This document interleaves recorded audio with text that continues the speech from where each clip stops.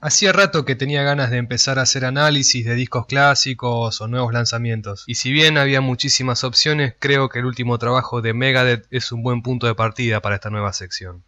Habiendo pasado alrededor de seis meses desde su salida, llego bastante tarde para decir algo nuevo de este disco, pero bueno, la idea es transmitir sensaciones y una opinión personal. Además, hacía mucho tiempo que Megadeth no sacaba un disco que me generara tanta expectativa. Qué sé yo, para mí ya es motivo suficiente como para dedicarle esta página. Aclaro que no voy a poner canciones o fragmentos del disco de fondo porque no quiero arruinarle la experiencia a quien no lo haya escuchado todavía y tampoco tengo ganas de que el copyright me venga a hinchar las pelotas.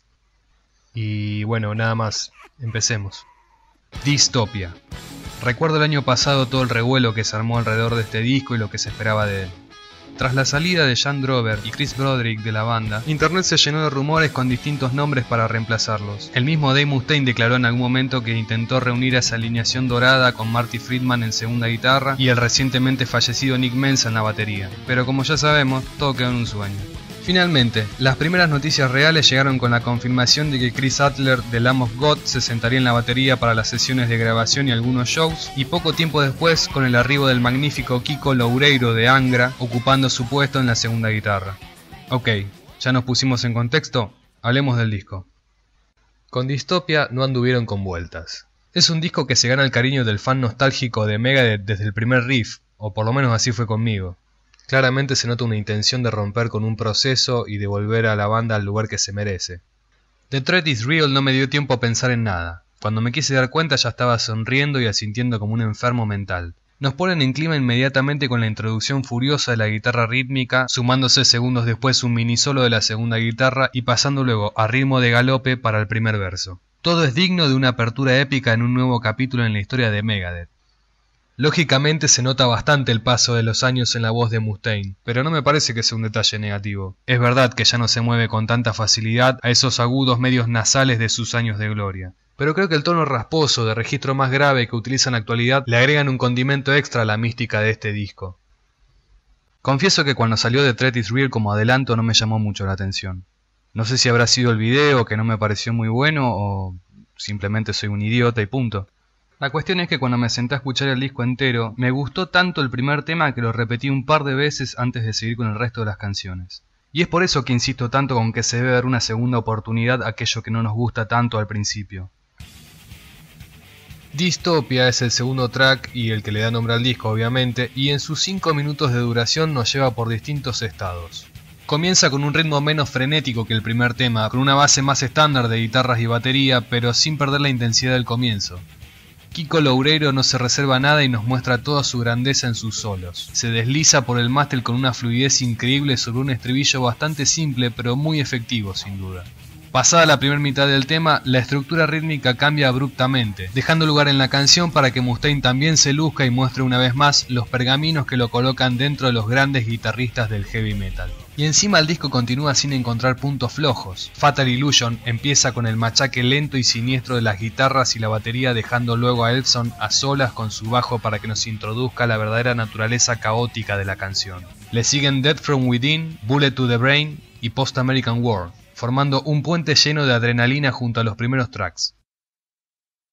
Por su parte, Poisonous Shadow se siente como el punto de inflexión en el disco, combinando arreglos orquestales con el doble pedal de Adler como guía y el resto siguiéndolo, pero sin perder de vista esa melodía que comenzó con guitarras acústicas y termina con un impecable segmento de piano a cargo de Loureiro.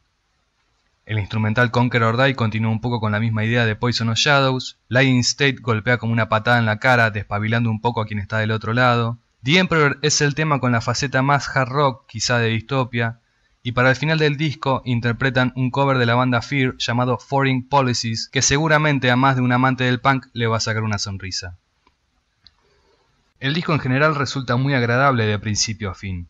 La forma en que fue grabado y producido está en el punto justo, ni muy moderno ni muy clásico. Y la labor de los músicos en cuanto a composición y ejecución le hacen justicia a la trayectoria de la banda sin duda. Kiko Loureiro encaja perfectamente en la fórmula con su estilo de guitarra, Chris Adler hace un trabajo impecable en la batería. Y de Mustaine y Elson todo lo que pueda decir es en vano. Son el alma de Megadeth. En conclusión, me cuesta bastante destacar un aspecto negativo de este disco. Quizá podría mencionar que varias canciones en él tienen cierta similitud con obras anteriores bastante consagradas.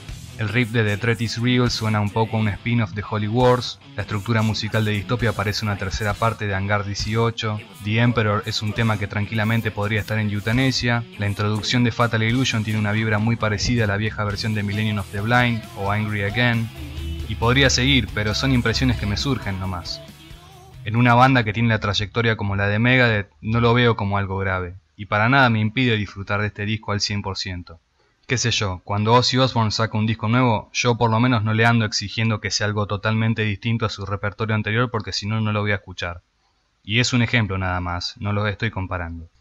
Creo que después de lanzamientos como el disco 13 y Super Collider, este golpe de timón, volviendo a lo que mejor saben hacer, es una buena decisión por parte de la banda. De todas formas, y más allá de cómo le esté yendo en ventas, tampoco me parece justo poner a la misma altura o comparar este material con Peace Cells o Rust in Peace. De más está decir que estos discos quedan afuera de toda discusión, pero sí creo que Dystopia se merece un pequeño lugar en el corazón de los fanáticos. Es un buen disco de Megadeth, y sobre todo es un buen disco de heavy metal. Y bueno, aquí mi humilde opinión sobre el último trabajo de Dave Mustaine y compañía.